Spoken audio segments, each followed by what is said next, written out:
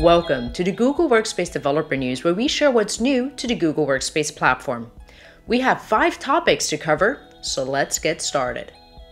Starting November 10th, 2025, secondary calendars will have a single data owner.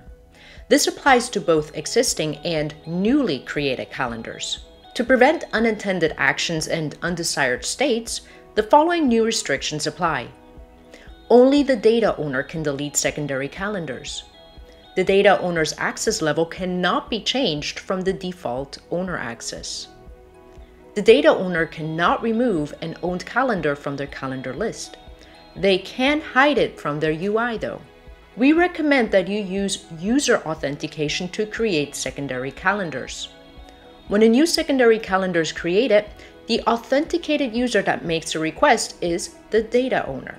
Workspace Flows launched to Gemini Alpha and it brings agentic automation directly into Google Workspace.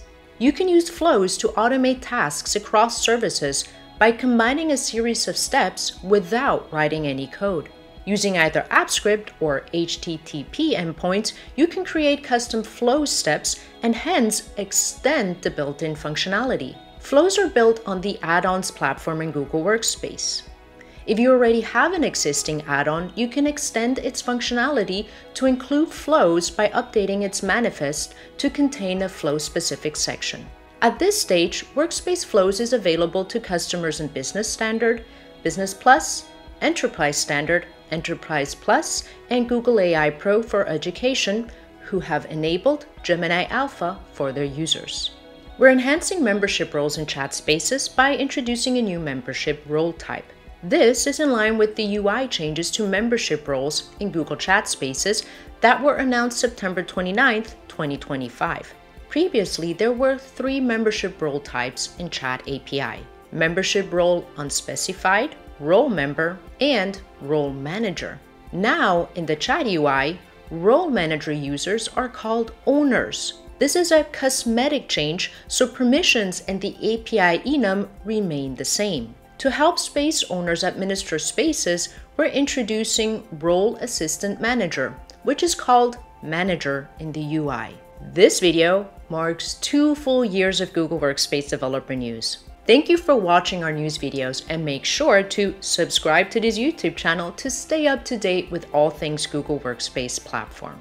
When sending private messages, chat apps can now include interactive accessory widgets.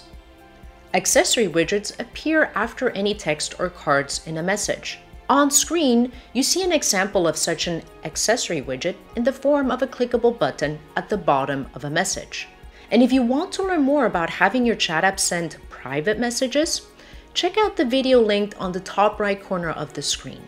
After October 14, 2025, calling Gemini Code Assist at Google Docs tool using the at operator with the tool name won't work.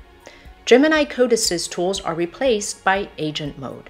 I highly recommend you check out the video we made on how to get started with Workspace Flows. Thank you for watching and I'll see you in next month's video.